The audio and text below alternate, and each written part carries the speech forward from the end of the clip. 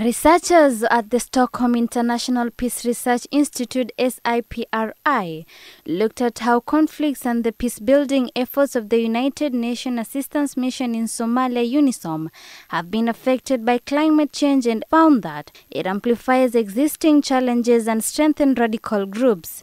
The report shows that the security landscape is changing with climate change. According to the report, decades of conflict in Somalia, described as among the most climate vulnerable countries in the world, have been magnified by a series of severe droughts which add pressures to the country's state building process and makes UNSOM's work more challenging in a number of ways. For instance, the frequency and severity of conflicts between herders and farmers in the country's rural regions have increased as changing seasons and weather means herding nomads have to adjust their routes.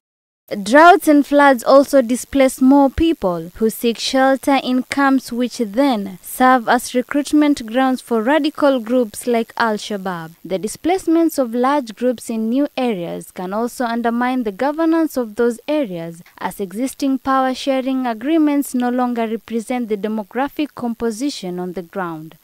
While the report was hesitant to say that climate change by itself could cause conflict, the evidence was clear that climate change increases the probability of conflict and violence. According to the UN's refugee agency UNHCR, some 2.6 million people are currently internally displaced in Somalia and more than 800,000 remain displaced in neighboring countries as a result of armed conflict and recruiting droughts. Naima Abdekhair reporting for CBN News.